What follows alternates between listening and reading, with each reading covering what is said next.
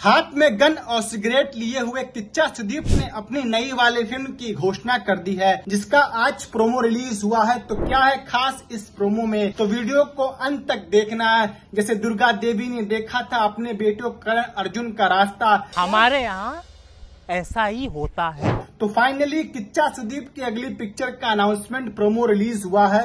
वो भी दो मिनट अड़तालीस सेकंड का, एक मिनट, दो मिनट अड़तालीस सेकंड का अनाउंसमेंट प्रोमो भाई मैगी बना रहे हो कि पिक्चर आजकल दो मिनट अड़तालीस सेकंड में लोंडो का खेल खत्म हो जाता है। यहाँ तो किच्चा भाई के फ़िल्म का सिर्फ़ अनाउंसमेंट प्रोमो रिलीज़ हुआ है। वो भी दो मिनट अड़तालीस सेकंड का।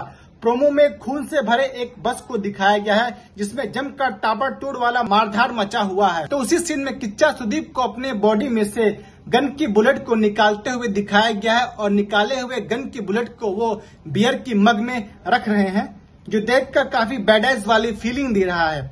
उसी के साथ डिनिम वाला बीजीएम सुनकर मज़ा आ गया। प्रोमो का प्रेजेंटेशन बढ़िया है। सोचो, प्रोमो इतना बढ़िया बना है तो मूवी के सीन कैसे कैसे होंगे?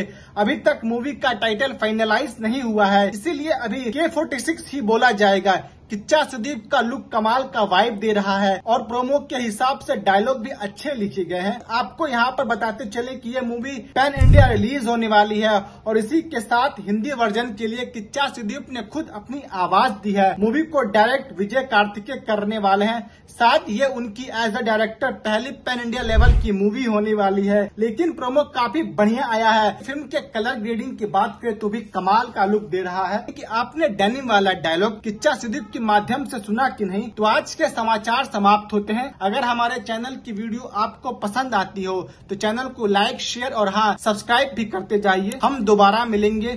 शुक्रिया।